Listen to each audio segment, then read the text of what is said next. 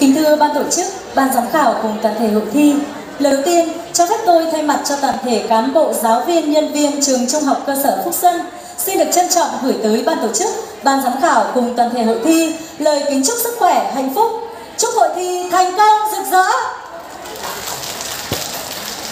Thưa quý vị, trong văn hóa Việt Nam, hoa sen không chỉ là một loài hoa đẹp mà còn là biểu tượng văn hóa trong tâm thức người Việt được chọn làm quốc hoa.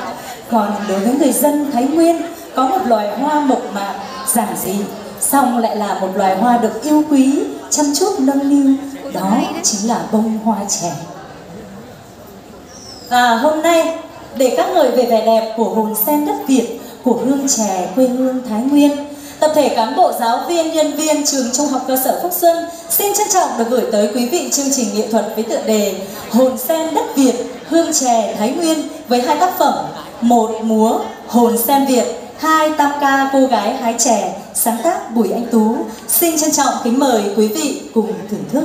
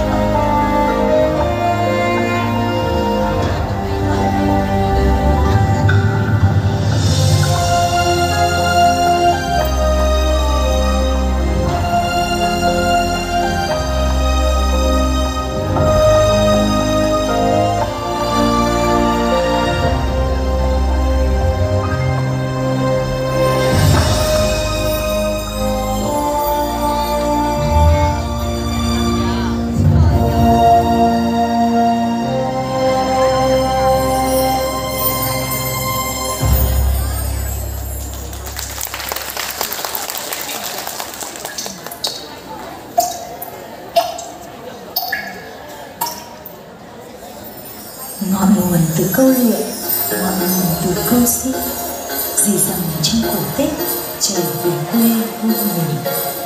Thái Lan, Mảnh đất trung du trù phú Với con người vẹn nghĩa vẹn tình. Với quê hương, Mỗi người con Thái Nguyên luôn tự hào Về một mảnh đất yên bình Một đà bản sắc Sau những đầy nhiệt tiết của tuổi trẻ. Có một dân tộc anh em cùng chung sống Thái Nguyên là một bức tranh sống Hoặc nhiều màu sắc văn hóa Sang đèn biển Với tinh thần đoàn kết cứng hóa